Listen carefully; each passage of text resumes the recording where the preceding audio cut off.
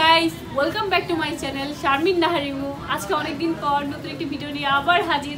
সেটা হচ্ছে, তোমরা অনেকেই আমাকে জিজ্ঞাসা করছ, ল, আসলে আমি কেন লতে পড়তেছি বা লতে পড়লে সুবিধা কি? আর লতে পড়ার জন্য কি কি করতে হবে? বিশেষ করে আমার ছোট্ট আপুরা আছে, অনেক ভাইয়ারা আছে, যারা পড়ার জন্য অনেক আগ্রহ। মূলত ভিডিওটা আজকে তাদেরকে নিয়ে, তো তোমরা সবাই অবশ্যই দেখবা পুরো ভিডিওটি অবশ্যই তোমাদের ভালো লাগবে।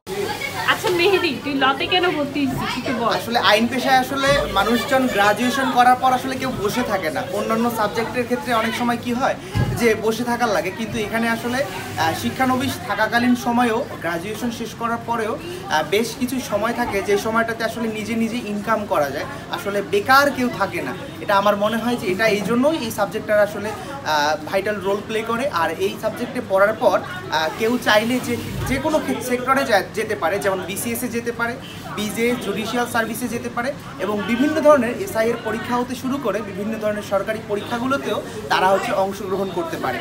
মেহেদি আমাদের ব্যাচের সিয়ার যে হচ্ছে মানে অনেক ভালো তার বাবা অ্যাডভোকেট ছিল।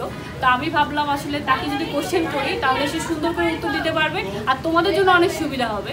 তো মেহেদি তোর পরিচয়টা একটু আচ্ছা আমি হচ্ছে মেহেদি হাসান শামীম। আমি হচ্ছে আশা ইউনিভার্সিটি বাংলাদেশের এগারোতম সেমিস্টার শেষ করেছি বর্তমানে হচ্ছে বারোতম সেমিস্টারে পড়ছি।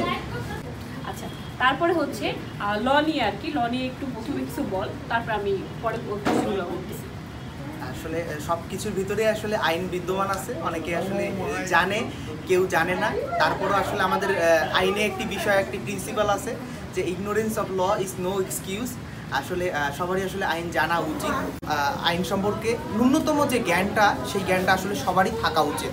বলে আমি মনে করি। আচ্ছা এখন কথা হচ্ছে অনেকে জিজ্ঞাসা করতেছে যে লতে পড়তে গেলে আমাদের এসিসি আর এসিসিতে কত পয়েন্ট থাকলে তারা লতে পড়তে পারবে? আচ্ছা লতে পড়তে গেলে আমি যদি প্রাইভেট বিশ্ববিদ্যালয়ের কথা বলি প্রাইভেট বিশ্ববিদ্যালয়ের ক্ষেত্রে ন্যূনতম আসলে ছয় পয়েন্টের একটু উপরে থাকলেই আসলেই ভালো হয়। সবাই আসলে ছয় পয়েন্টের উপরে থাকলেই এইসব প্রাইভেট যে কোনো প্রাইভেট বিশ্ববিদ্যালয়ে তারা ট্রাই করতে পারবে এবং তারা যেসব ভালো মানের যেসব প্রাইভেট বিশ্ববিদ্যালয়গুলো আছে সেসবে একটি লিখিত একটি পরীক্ষা হয়। সেই পরীক্ষার মাধ্যমে অংশগ্রহণ করে তারা হচ্ছে লিখিত এবং মৌখিক পরীক্ষা হয়। সেটার মাধ্যমে অংশগ্রহণ করে তারা হচ্ছে সেসবে তারা ভর্তি হতে পারবে আইন অনুষদে। আচ্ছা আরেকটা কথা হচ্ছে, আপনারা যে কোনো সাবজেক্ট নিয়ে, যেমন হচ্ছে আমরা ইন্টারে আপনার হচ্ছে কমার্স হোক আর্টস হোক সায়েন্স হোক যে কোনো সাবজেক্ট নিয়ে আপনি পড়ে কিন্তু লতে পড়তে পারবেন। এটা কোনো, এটা হচ্ছে ম্যান্ডেটরি না। আপনি যে কোনো সাবজেক্ট থেকে নিয়ে আপনি কিন্তু পড়তে পারবেন, সেটা সমস্যা লতে পড়তে গেলে কি কি করতে হবে, না করতে হবে, সব কিছু মানে আমাকে টিকটকে আপনারা অনেকেই জ্বালায় ফেলছেন কমেন্ট বক্সে পুরা ভর্তি করে ফেলছেন যে আসলে আপু আমি লতে পড়তে চাই আমি এটা করব, সেটা করব ওরা অনেকে অনেক রকমের কমেন্ট করছেন, যদিও আমি রিপ্লাই দিতে পারিনি, কারণ আমার হচ্ছে ফাইল ফাইনাল এক্সাম চলতেছে, যেটা হচ্ছে কি বলব, আমি আজকেও এক্সাম দিয়ে আসছি সিভিলের আমার আর দুইটা এক্সাম আছে। তো আমি এখন আপনাদেরকে বিস্তারিত কিছু কথা বলব, সেটা হচ্ছে আপনারা হচ্ছে চাইলে কেউ চাইলে অনার্স শেষ করেও আপনারা লতে পড়তে পারবেন প্রাইভেটে আর কি, এটা প্রাইভেট ভার্সিটির জন্য। আবার আমরা যারা আর কি লতে ভর্তি হয়েছি, তারা হচ্ছে এসএসসি এসএসসি পড়ার পরে আমরা কিন্তু লতে ভর্তি হয়েছি এইচএসসির পরে আর কি। তো এখন কথা হচ্ছে লর উপরে অনার্স অনার্স আছে, আবার অন্য সাবজেক্টের উপরেও কিন্তু অনার্স আছে, সেটা আপনাদের ইচ্ছা। আমরা ল নিয়েছি, ল নিয়েই লেখাপড়া করতেছি। তো আসলে পয়েন্টের একটা ম্যাটার আছে, সেটা হচ্ছে আপনার এসএসসিতে থ্রি পয়েন্টের উপরে থাকতে হবে অ্যান্ড এইচএসসিতে থ্রি পয়েন্টের উপরে থাকতে হবে। মোট আসলে টোটাল সিক্স পয়েন্ট থাকলে আপনারা লতে পড়তে পারবেন বেসরকারি ভার্সিটিতে হয়তো বা এর বেশিও অনেকে, অনেক ভার্সিটিতে আছে যে আরও বেশি পয়েন্ট লাগে। কিন্তু আমরা যে ভার্সিটিতে পড়ি, আশা ইউনিভার্সিটিতে সেই ভার্সিটিতে সিক্স পয়েন্টের উপরে থাকলে আপনি লতে পড়তে পারবেন। এখন অনেকে বলবে যে, আপু, আপনি আশার কথা বলতেছেন, অন্য ভার্সিটির কথা বলতেছেন না। আসলে অন্য ভার্সিটির কথা আমি জানি না, আমি আমার ভার্সিটির কথাই বলতেছি। আপনাদের সেটা ইচ্ছা, আপনারা যে কোনো ভার্সিটিতেই পড়তে পারেন লতে সেটা সেটা আপনাদের একান্তই ইচ্ছা। এখন অনেকেই অনেকে কোশ্চেন করছেন যে আপু আসলে আমি সায়েন্স বা কমার্স বা আর্টস এসব নিয়ে এসব নিয়ে লেখাপড়া করছি, আমরা কি লতে পড়তে পারব? আসলে লতে কোনো মেন্ডেটরি কোনো বলে নেই যে, কোনো সাবজেক্ট থাকলে এই সাবজেক্ট থাকলে আপনি পড়তে পারবেন বা এই সাবজেক্ট থাকলে পড়তে পারবেন না, এমন কোনো কথা মানে নাই। আমি আর্টসের স্টুডেন্ট ছিলাম, আমি আর্টস থেকেই লতে পড়তেছি। এখন তো আসলে আমার শেষ, লেখাপড়া প্রায় শেষ, আমার শেষ শেষ সেমিস্টার তো আমি এরপরে আমার ইচ্ছা আছে এলএলএমে আমি পড়ব, আর বার কাউন্সিলে আমি এক্সাম দিব। এক্সাম দিয়ে যদি পাস করতে পারি, তাহলে তো অবশ্যই আমি একটা ভালো অ্যাডভোকেট হতে পারব। এটা আসলে আরও পরের স্টেপ যেহেতু আমার এখন লেখাপড়া শেষ। তো এখন আমাকে আরও বেশি করে লেখাপড়া করতে হবে, কারণ জীবনে তো এখন শুরু। যারা লতে পড়ে, তাদের কিন্তু লেখাপড়া শেষ হয়ে যায় না। তাদের সারা জীবন পড়তে হয়, কারণ এক এক সময় এক এক রকম সেকশন আসে, যেটা নিয়ে আমাদের আলোচনা করতে হয়, পড়তে হয় আর বিভিন্ন রকম কেস হ্যান্ডেল করার জন্য আমাদেরকে প্রচুর পরিমাণে লেখাপড়া করতে হয়। আর এখন অনেকে আসলে অপিনিয়ন অনেক রকমের ইচ্ছা থাকে যে আমি এটা করব, সেটা করব।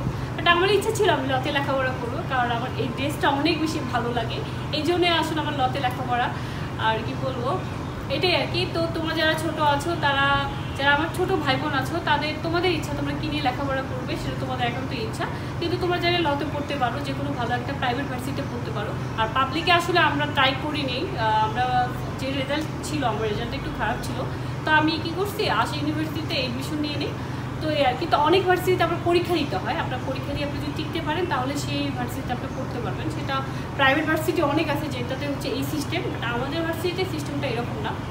এটা আর কি। আরেকটা কথা, টাকার কথাটা, যে চার বছরের কোর্সে কত টাকা লাগবে, না লাগবে। তো আসলে এক একটা ভার্সিটিতে এক এক রকমের ফি দেয়, আমি জানি না বাট আমাদের ভার্সিটিতে মনে হয় চার লাখের উপরে। আমরা যখন করছিলাম তখন তিন লাখ আশি হাজার ছিল। এটা হচ্ছে আরও আগের কথা, দুই হাজার আঠেরো সাল, আঠেরো সালের কথা। এটা আঠেরো সালের দিকে এক এক ভার্সিটিতে এক এক রকমের ফি দেয়। তো তিন লাখ, চার লাখ, পাঁচ লাখ, ছয় লাখ, সাত লাখ, দশ লাখ, বারো লাখ, এরকম দিয়েও আসলে অনেক ভার্সিটিতে অনেকে পড়ে। সেটা হচ্ছে জানি না, এটা এক একটা ভার্সিটি এক একটা সিস্টেম আর পাবলিকে পড়লে এত টাকা লাগে না এটা হচ্ছে প্রাইভেট ভার্সিটির জন্য। এ আর কি। তো আরও যদি আপনাদের কোনো কোশ্চেন থাকে, সবাই অবশ্যই আমাকে কোশ্চেন করবেন। কমেন্ট বক্সে অবশ্যই আমাকে বলবেন যে আপনারা আরও কী কী জানতে চান। আসলে আমার মানে আমি অনেক টায়ার্ড আজকে। সিভিলের ইয়া ছিল একটা মকটাইল ছিল। আমি প্রচুর পরিমাণে টায়ার্ড তারপরে আমি আপনাদের জন্য কিছু কথা বললাম, যেটা আসলে আপনারা জানতে চেয়েছিলেন, সেটাই বলেছি। তো আরও কিছু জানার থাকলে অবশ্যই আমাকে বলবেন। আমার এক্সাম শেষ হলে আমি অবশ্যই আমি আপনাদেরকে আবার রিপ্লাই দেওয়ার চেষ্টা করব। সবাই ভালো থাকবেন। আল্লাহ হাফিজ সবাইকে।